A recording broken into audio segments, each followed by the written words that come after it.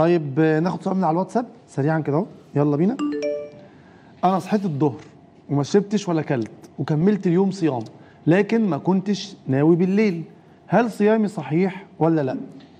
آه، البعض يش... الفقهاء يشترط النية إن لازم يكون آه، بيت النية والبعض الآخر يجيز عملا بأن النبي صلى الله عليه وسلم كان إذا أصبح فيسأل هل عندكم من طعام؟ فيقولون لا فيقول إني إذا صائم. آه. تمام. والحديث طيب. صحيح يعني. طب لو هو يا شيخ عصام مثلا جينا نطبقها على ارض الواقع وقلنا إيه أنا مثلا متعود أصوم نوافل اثنين وخميس مثلا. ماشي. وما نويتش. نسيت انوي بالليل وجيت قمت يوم الاثنين ده مثلا صدفة إن أنا بصوم معتاد إن أنا أصومه أو هو أو يوم الخميس وصحيت مثلا الظهر أو العصر وأنا لسه ما أكلتش وكملت صيام. يجوز لي هنا ولا لازم أنويه؟ ما أنت ناوي كل اثنين وخميس. آه أيوه ما نية واحدة قصدي تكفي. أيوه أنت ما آه ما جددتش بقى ناوي إن- كل اثنين وخميس هصوم أيوه إن شاء الله. اتقطعوا في النص ولا شغال؟ لا شغال. يعني مستمرين بفضل الله خلاص آه انت نيتك مستمرة ما اتقطعتش طب ولو انقطعت هو انت لا انقطعت معناها لو أنا معنى بنويها والنية مش معناها. لا النيه ما- إذا أنا ناوي ما أكلش آه. ما باكلش ليه؟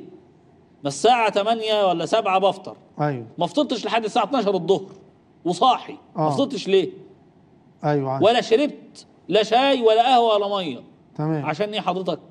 يعني بتعمل هل, يوجا؟ هل- أكيد ما هنا أنت صايم يعني. هل النية هنا دورها العزم على ما هو النية فقط؟ يعني إيه؟ النية مش معناها تلفظ. آه. النية لا يتلفظ بها إلا في الحج والعمرة. نعم. لبيك اللهم بعمرة لبيك اللهم بحجة.